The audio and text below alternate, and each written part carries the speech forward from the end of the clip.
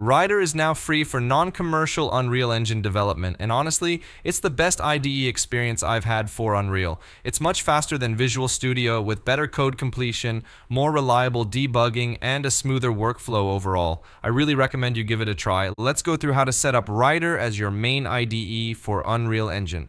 With your project open just like you see here, go up to the Edit menu at the top and choose Editor Preferences. Inside Editor Preferences, look for Source Code on the left panel.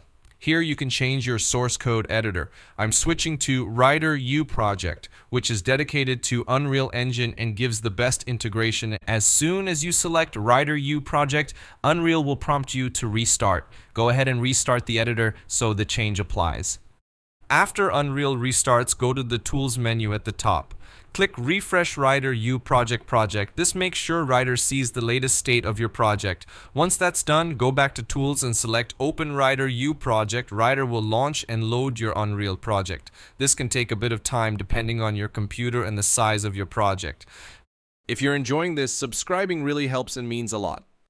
Now, for the best Rider experience, we need to install the RiderLink plugin. First, make sure Unreal Engine is closed completely. Otherwise, you'll get an error during installation.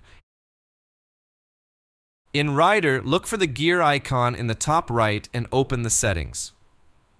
Go to Languages and Frameworks and you'll see an option to install RiderLink in Engine. You can also install it just for your current game, but I recommend adding it to the engine so it's always available.